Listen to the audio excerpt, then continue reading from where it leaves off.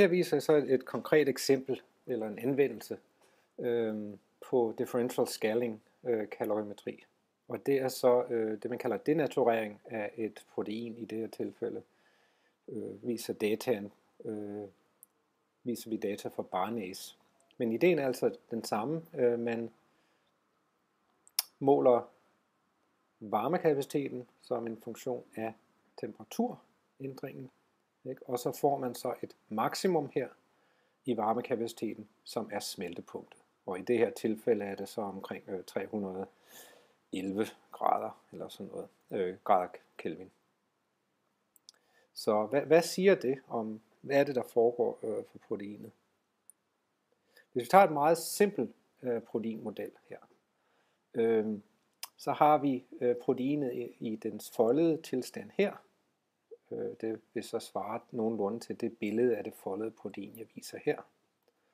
Ikke? Og når man så tilfører varme, så bryder man øh, bindingerne her, og proteinet folder sig ud. Og generelt vil der så være flere måder at lave en udfoldet tilstand på, end en foldet tilstand. Øh, og det påvirker selvfølgelig entropien.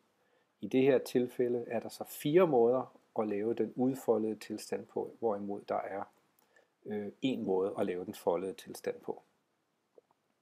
Øh, så hvis vi har foldet og udfoldet, kan vi skrive ligevægtskonstanten sådan her, og det er selvfølgelig en funktion af delta G standard. Det kan vi så skrive om til øh, brøkdelen af, eller procentdelen af den udfoldede tilstand. Det er den udfoldede tilstand her som en funktion af delta G, og den foldede tilstand her som en funktion af delta G. Øhm, så laver vi så, øh, for at lave nogle, så sætte nogle tal på det her, laver vi så nogle øh, tilnærmelser. Øh, så hvis vi siger, at, at øh, det mest vigtigste her for entalpien, det er den her hydrogenbinding, øh, som kommer fra vekselvirkningen mellem atomerne, så er ændringen i delta H standard nogenlunde lige med ændringen i de der vekselvirkninger, som vi kalder øh, molekyleentalpien. Og entropiændringen, den kommer så primært fra en ændring i øh, konfirmationsentropien, eller den konfirmationelle entropi.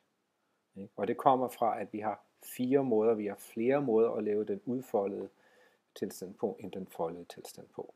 Så vi sætter simpelthen udartningen ind her. 4 for den udfoldede tilstand, 1 for den foldede tilstand. Det her, det er så 0. Så får vi så et, en simpelt udtryk for delta G standard. Og det kan jeg så, den her øh, ligning kan jeg så sætte ind her, og så kan jeg give et, et, et bud på delta H molekyle. Her har jeg så brugt øh, 2,5 kJ per mol. Så kan jeg så plotte øh, brøkdelen af den foldede tilstand og brøkdelen af den udfoldede tilstand. Og man kan så se, når jeg hæver temperaturen, så bliver det mere sandsynligt, så får jeg mere af den, foldede, øh, den udfoldede tilstand, sammenlignet med den foldede tilstand, som så går ned. Og så er der så et punkt her, det er smeltepunktet for den her simple model, ikke? hvor jeg har lige meget øh, udfoldet og foldet tilstand, og hvor ligevægtskonstanten så vil være 1. Ikke? Så kan jeg så udregne varmekapaciteten ud fra den simple ligning igen. Og jeg får et maksimum her som en funktion af temperatur. Øh, og det sjove er så, at det her maksimum ikke ligger, det ligger ved en lavere værdi end smeltepunktet. Øh, og det sker for små systemer, øh, hvor der ikke er en stor entropiændring. Så det er fordi, vi har brugt et meget lille model for proteinet. Men skal vi sige, hovedpunkterne her er det samme. Når du hæver temperaturen, så bliver det mere sandsynligt at være i den udfoldede tilstand, mindre sandsynligt at være i den foldede tilstand. Du når et punkt, hvor der er lige meget, øh, og det er så smeltepunktet. Og du får et maksimum i varmekapaciteten. For mere realistiske modeller, øh, hvor der er mange flere måder at lave den udfoldede tilstand øh, sammenlignet med den foldede tilstand, så for eksempel 100 eller 10.000 øh, forskellige måder at lave den udfoldede tilstand på. Så får jeg en meget skarp, øh, hov, en meget skarp peak her for min varmekapacitet. Ikke? Og jeg kan se, at maksimum for varmekapaciteten, den ligger meget, meget tæt på det punkt, på smeltepunktet, hvor jeg har lige meget af den foldede og den udfoldede øh, form af proteinet. Ikke? Og her, som er måske en meget, som er en meget mere realistisk model for, for proteinet, ikke? så ligger de oven på hinanden. Jeg har et maksimum i varmekapaciteten, når min ligevægtskonstante er 1, og det vil sige, når delta G standard er 0. Så for store systemer, hvor du har en stor entropiændring, øh, når du går fra det ene, den ene tilstand til den anden, for eksempel foldet til udfoldet, øh, så er varmekapaciteten et maksimum, når halvdelen af proteinet er udfoldet, og det vil sige ligevægtskonstanten øh, er 1.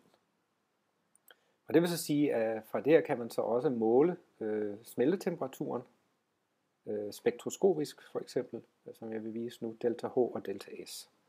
Øh, og sådan set via Van Hoff-metoden.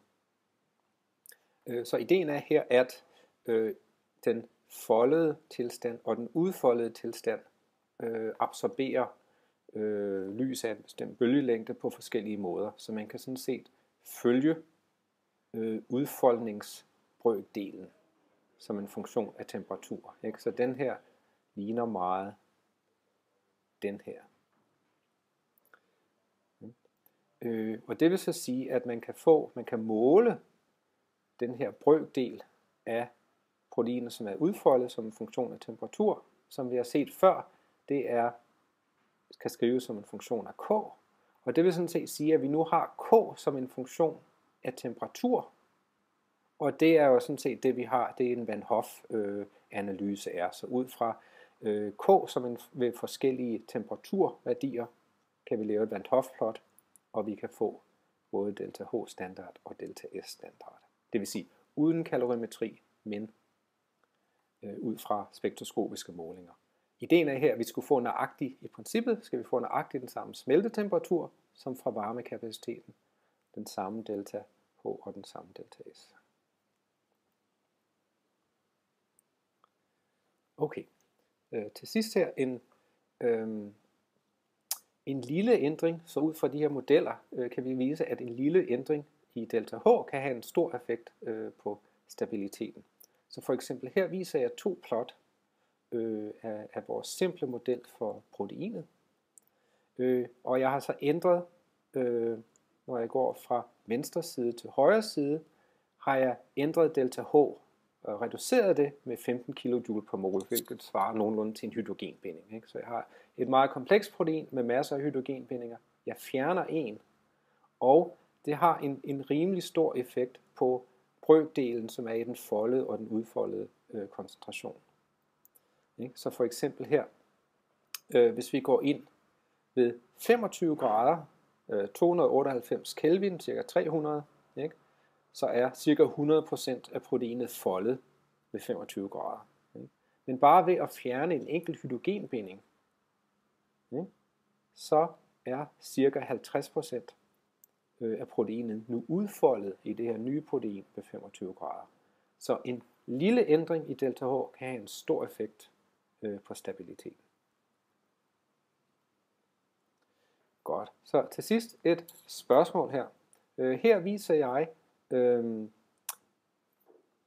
en varme, varmekapacitetskurve ved forskellige pH. For det samme protein, samme koncentration af proteinet osv. Det eneste, der er forskelligt, det er øh, pH-værdien, øh, der hvor jeg gør målingerne. Og spørgsmålet der er så, er så, ved hvilken pH er delta S standard størst? Øh, tænk over det, tryk på pauseknappen. Når du er klar til at svare, så tryk play igen. Okay, klar? Godt. Det er så øh, for pH 5,4, det vil sige den højeste pH. Øh, og det ved man, fordi øh, ud fra den lille, fra den analysen af det lille protein, så ved vi, at, at bredden her af det her peak, ikke, det er relateret til, hvor stor entropiændringen er. Øh, og her er så den, skal vi sige, den mest snævre øh, peak, og det er så den, der har øh, den største entropiændring. Og hvis man måler entropierne, det har man gjort for de, de sidste tre pH-værdier, så kan man se, at det rent faktisk er sandt. Øh, Øh, delta S standard er faktisk øh, den største for det her måling her, hvor, hvor det her peak er snæverst.